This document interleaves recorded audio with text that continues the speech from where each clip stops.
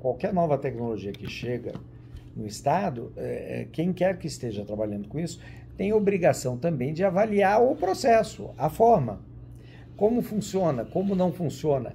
E tem impactos, por exemplo, vocês sabem que o, essas suítes de produtividade né, que estão no mercado, elas estão trazendo IA embutida. E esse IA embutido, ele tem acesso a toda a sua rede Isso. de... A sua base, ao seu, seu lago de dados. O seu lago de dados, os documentos que você produz. Então, se você não tiver uma disciplina de classificação e organização disso, você não tem limites por onde esse IA está pesquisando, navegando. Então, tem também um trabalho muito importante que corre paralelo, que é de governança e qualificação de dados e documentos e informações. Então, esse processo, ele é parte, e, e apontar para o governo a relação entre as duas coisas, olha, IA funciona, funciona aqui, aqui, aqui, é bom para isso, isso, isso, mas para usar IA você tem que se organizar dessa e dessa forma. Então temos essa tarefa também de explicar é, não apenas os impactos aonde há intenção, mas também os impactos não intencionais de uso e absorção de uma nova tecnologia, que isso às vezes é mais importante do que o, o intencional. Né? E você acha que a gente, como não só como empresa, mas o governo precisaria você fala, puxando essa coisa de regulamentação e tal, é importante ter algo, porque uma das coisas que a gente escuta é calma aí, deixa a gente ver para onde isso vai, antes da gente amarrar aqui e ali. Eu acho que é inevitável isso. Que tenha. Eu acho que sim, porque é, você regulamentar baseado no, no medo, no receio é, e na fantasia, não costuma ser eficiente. É. Então nós precisamos vivenciar e ter experiências para regulamentar. Agora, eu falo isso do ponto de vista de um, de um aplicante de tecnologia. Claro. Não é minha tarefa é, regula, regulamentar as eleições deste ano. Não é minha tarefa discutir a, é, a comunicação é, do governo com a sociedade ou das, da, é, das empresas de imprensa. Então, é, eu tenho um nicho razoavelmente confortável, onde eu tenho alta confiança de que as bobagens que serão cometidas, inevitavelmente, são de baixo impacto. Mas se, se eu tivesse, de repente, cuidando de uma eleição, eh, talvez eu não tivesse tão tranquilo, porque o potencial de bobagem é de alto impacto.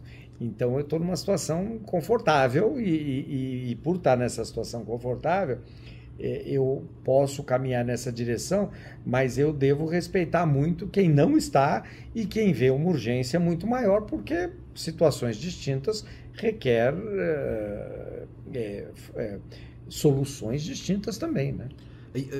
Uma coisa que pode vir a ser desconfortável e que talvez dependa menos de regra do que, na verdade, tem uma tecnologia capaz de lidar com isso, é, uma das questões que tem esse trabalho que você mencionou é combater fraudes e o uso disso na fraude.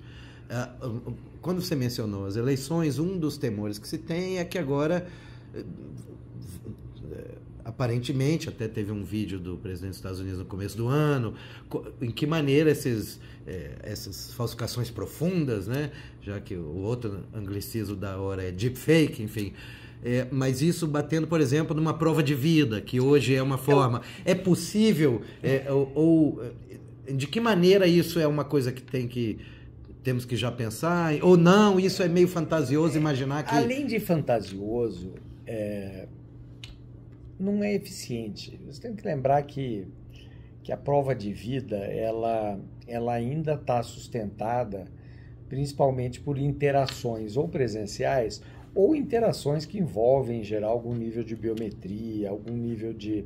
Então, é, a ideia de que um deepfake, como você falou, substitua, me parece improvável. É, eu acho que. E tem que lembrar, é, fraudes é, são.